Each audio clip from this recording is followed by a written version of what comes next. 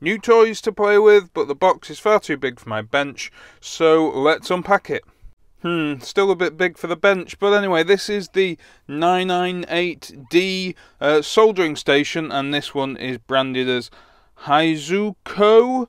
Um, I think that is, but I don't think that matters. Um, lots of these are available on eBay and the like, and uh, it comes with a uh, 907 uh, handle here, which is becoming the sort of standard, and this is based on the Hakko design, and uh, I quite like this, and this is already the sort of thing that I use on my soldering iron as it is, so uh, I've got lots of spare parts.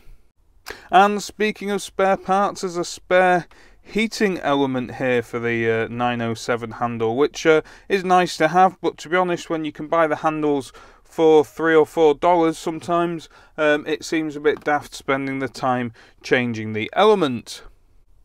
The iron stand here is one I've also got before. It's quite a nice stand, I quite like this one. Uh, it's worth adding a bit of weight to the bottom, however. But here we're starting to see the reason why I bought this unit uh, to replace my soldering iron here in the shed. And this is a hot air rework uh, handle that blows hot air out of the end uh, so that you can flow solder.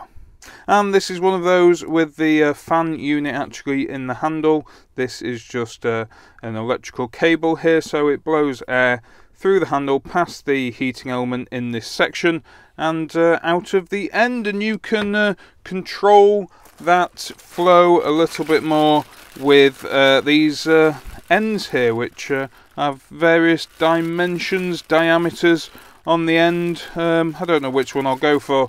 Probably start in the middle. There's also this uh, handle holder here which fits on the side and that fits in there. Rather snug. Excellent now I've plugged the supplied handle in here and uh, this was supplied with a 13 amp plug so uh, I want to check the uh, continuity to the tip, make sure the tip is grounded and uh, yes it is so that's a good start. I'm a bit more confident about plugging this in. So it's set up on my bench now and it does just about fit. The rework handle um, is on its holder. I've screwed that into this side and actually there aren't any screws on the other side so it's left hand side only.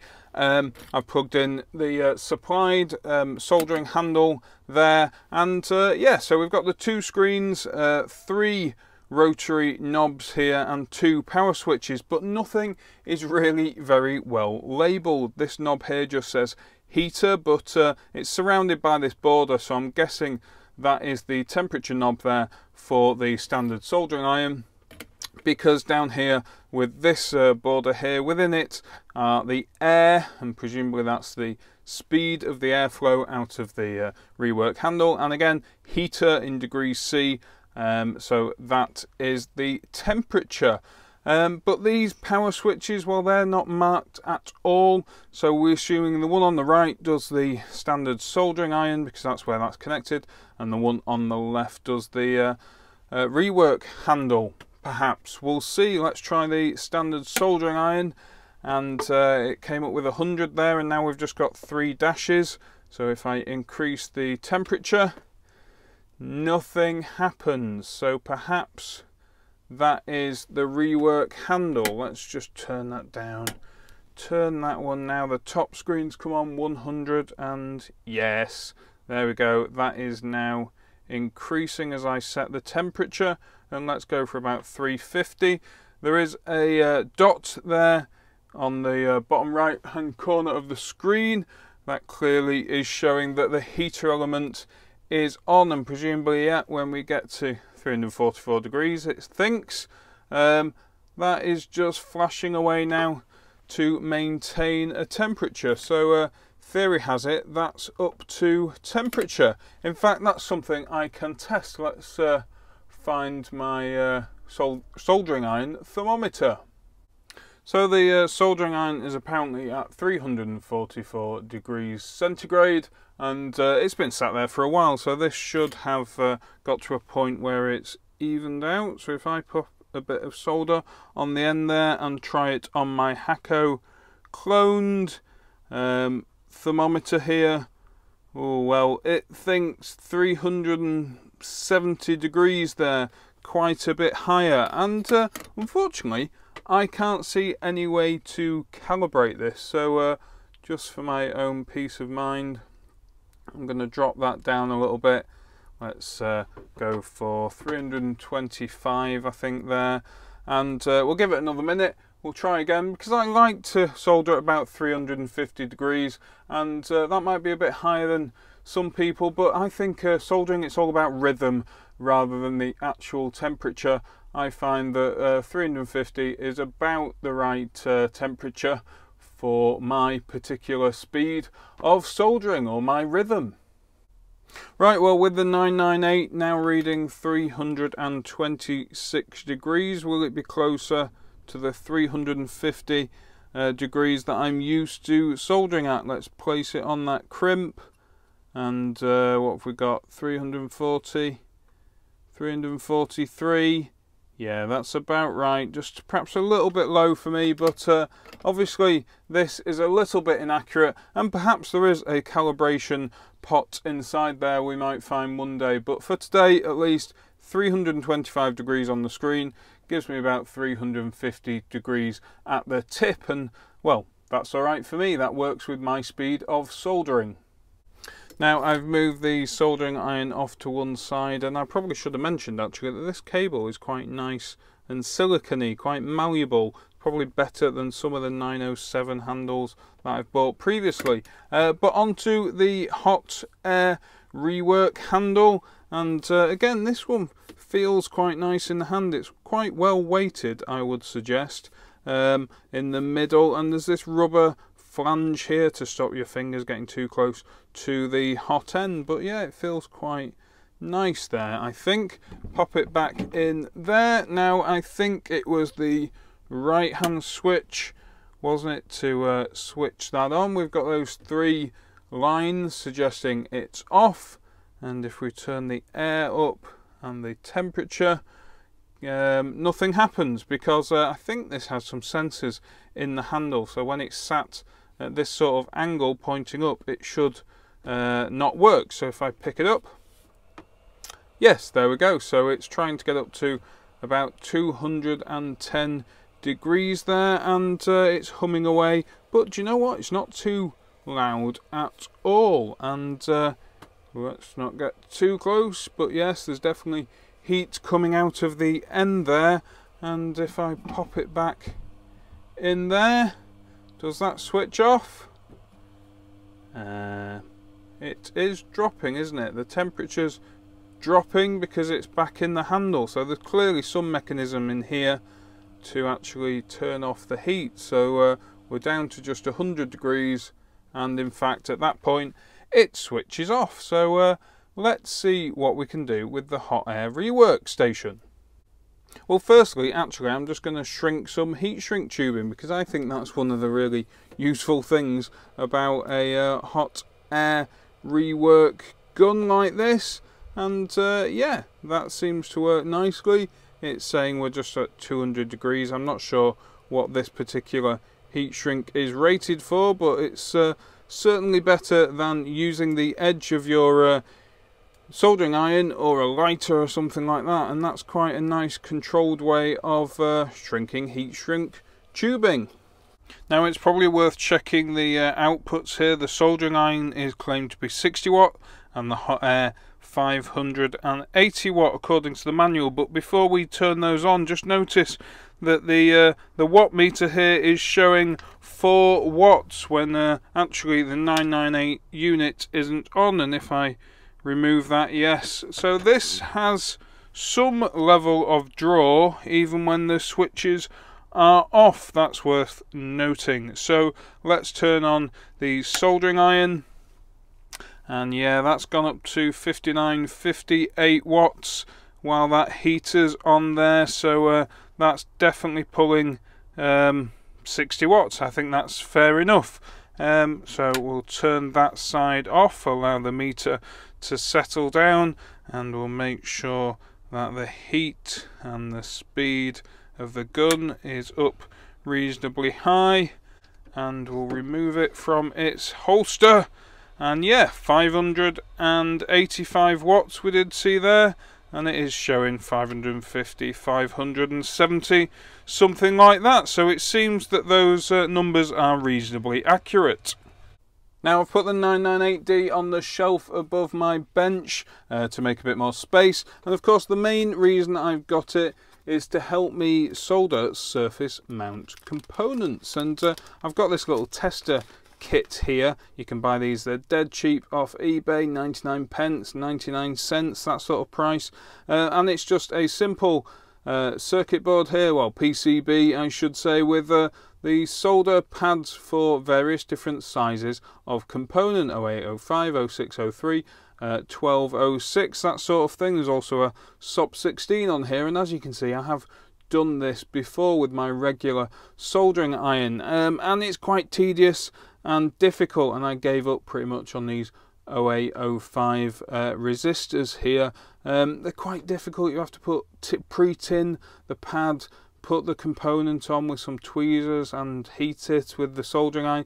It gets quite difficult. So uh, I thought a rework handle might be quite useful and this has come with a load of resistors and different things. So let's give it a go. But I've bought this um, solder paste here and this is XGZ40 uh, mechanic solder paste.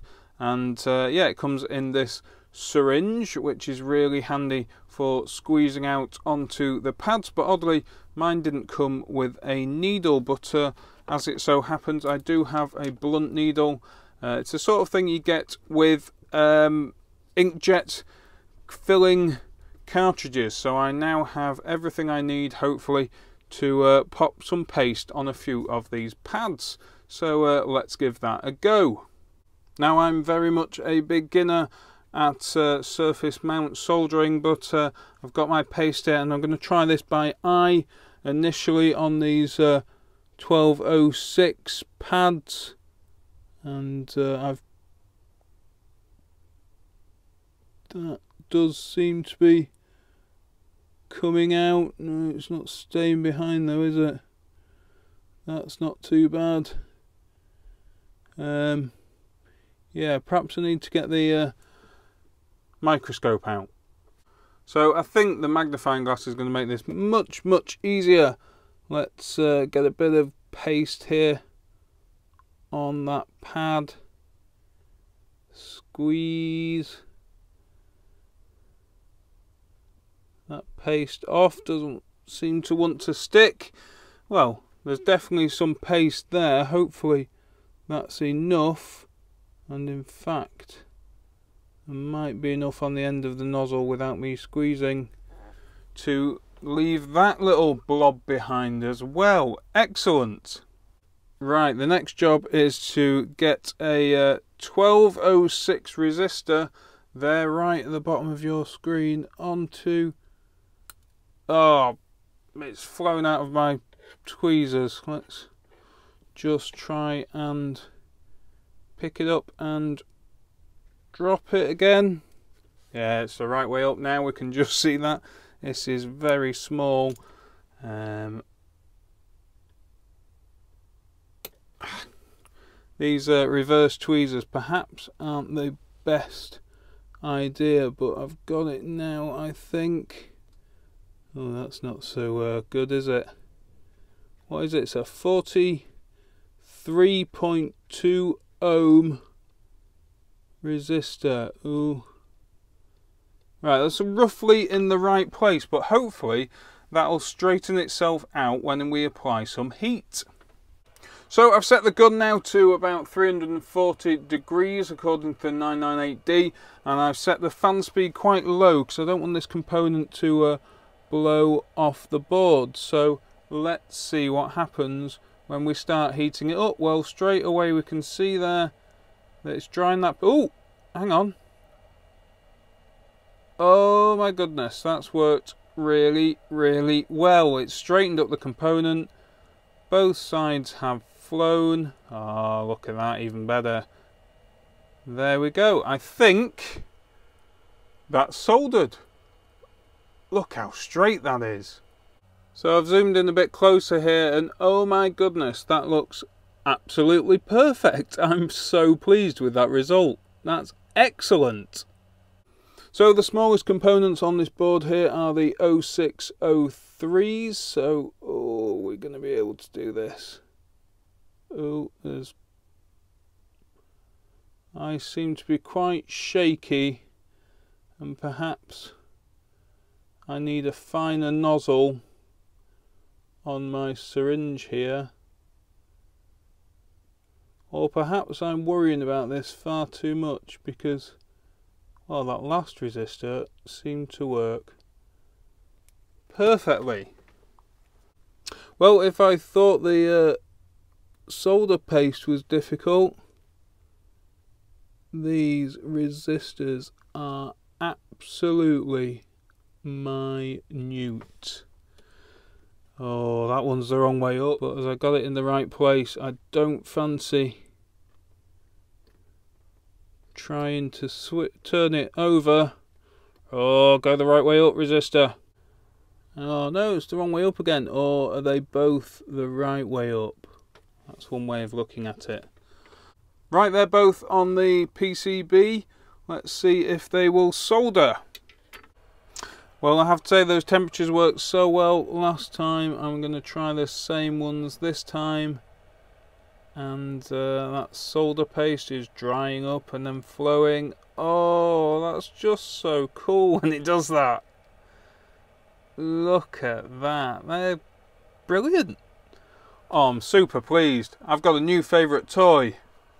So that's the 998D soldering station that has the uh, hot air reflow workstation built into it as well. I'm quite pleased with it. There is a question over that 4 watts that it draws when it's not in use, but I switch off all the power in the shed anyway when I leave and uh, now that I've labelled it up I think it's a lot more clear. There is a slight inaccuracy here on the screen but I think I can live with that for now.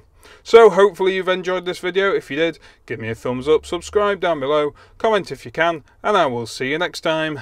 Thanks for watching.